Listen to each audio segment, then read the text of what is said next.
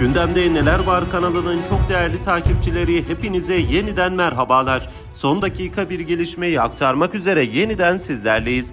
Değerli izleyenler Almanya'dan Rusya'ya destek gitti.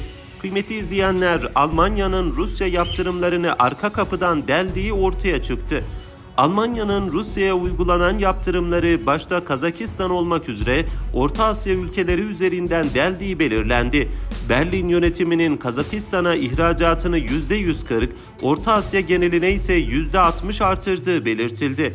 Şubat 2022'de başlayan Rusya-Ukrayna savaşı devam ederken Batı dünyası Moskova'ya uyguladığı ambargoları devam ettiriyor. Rus ekonomisini zayıflatmak ve Rusya'nın dünya pazarındaki payını azaltmak için alınan bu kararları bazı ülkelerin arka kapıdan deldiği ortaya çıktı. Doğal gaz bağımlılığından dolayı Rusya'yı karşısına almak istemeyen ve savaşın ilk aylarında ayak direten Almanya, özellikle de Amerika'nın baskısıyla Moskova'ya karşı yaptırımlara katıldı. Hatta Berlin Kuzey Akım 2'den de çekildiğini duyurdu.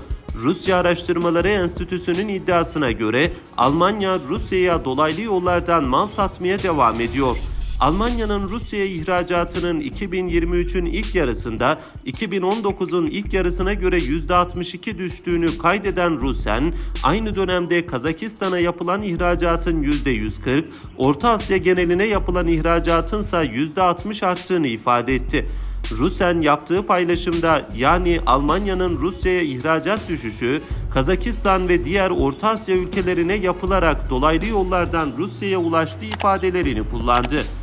Rusen bir başka paylaşımında Almanya'nın Kırgızistan üzerinden Rusya'ya silah yapımında kullanılan malzemeleri uğraştırmaya devam ettiği, Almanya'nın Kırgızistan'a ihracatının son 3 yılda %2000 arttığı ve bu malların büyük çoğunluğunun Rusya'ya gittiği söyleminde de bulundu.